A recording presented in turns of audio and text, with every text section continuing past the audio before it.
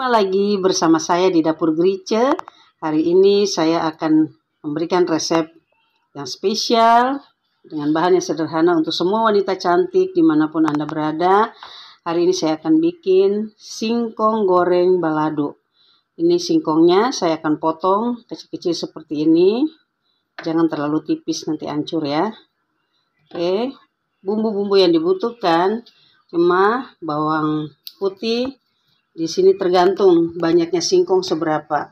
Kalau ini saya bikin satu kilo, bawangnya ada 6, cabenya tergantung kalau tidak suka pedas, jangan di terlalu pedas bisa dikurangi. Ini bawang merah. Bumbunya saya sudah, nah, ini saya sudah blender, jadi seperti ini. Kemudian nanti kita akan bumbu taburnya bawang putih yang dicincang-cincang seperti ini.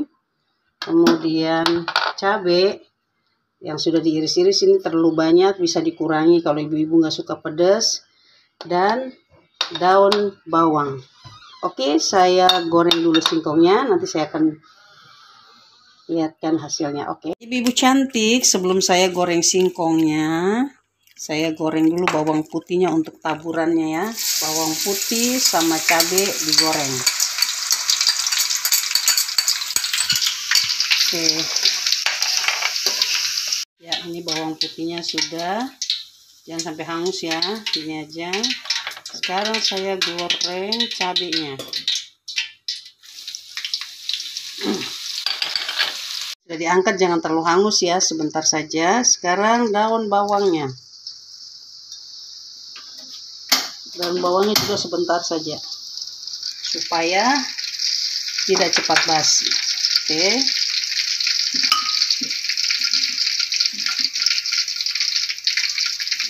Ini untuk taburan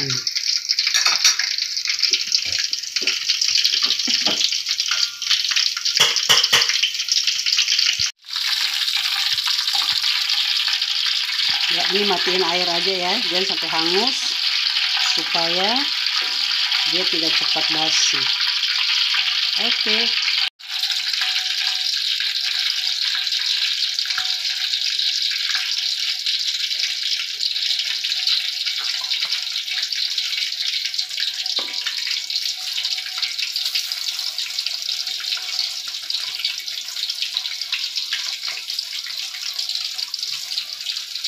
singkongnya sudah selesai digoreng sekarang bumbunya bawang merah bawang putih cabai saya tumis dulu ya. Ini bumbunya kebanyakan saya pakai dikit aja. Dua sendok saja ya. Oke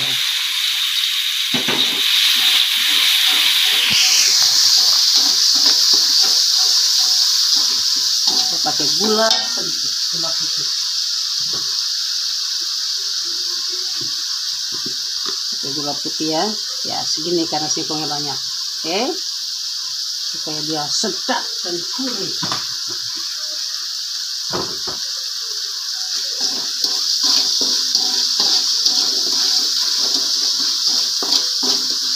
Penyedap.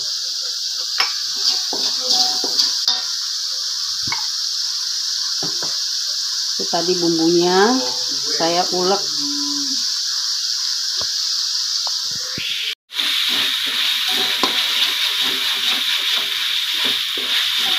sampai harum ya. Supaya dia enak.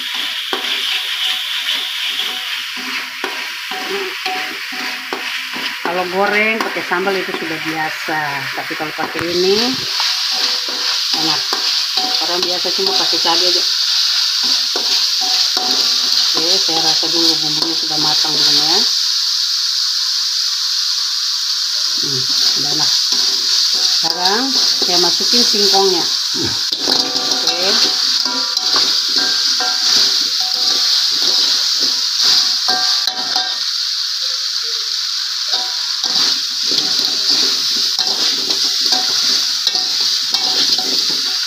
Ini jangan pakai air supaya dia langsung menyerap. Oke sekarang saya tabur daun bawang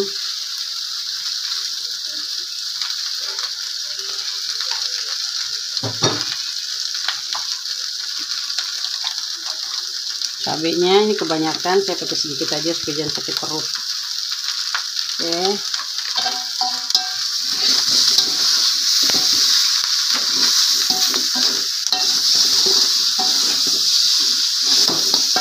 Sekarang saya tabur bawang putih gorengan.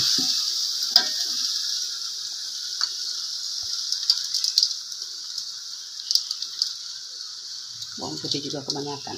Oke. Secukupnya saja.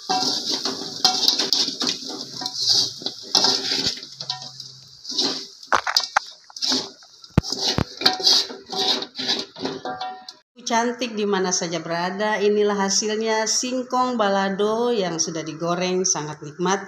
Dapat dipraktikkan untuk keluarga tercinta. Kalau ada kumpul keluarga, teman, handai tolan yang datang bisa disajikan. Ini sangat enak dan sangat praktis membuatnya. Dapat dipraktikkan di rumah dengan resep yang sangat sederhana tetapi sangat enak. Jangan lupa kasih like dan subscribe-nya, jempol manisnya supaya saya bisa memberikan lagi resep-resep yang terbaru untuk saudara semua. Terima kasih ibu-ibu cantik dan semua wanita hebat di mana saja berada. God bless you. Bye.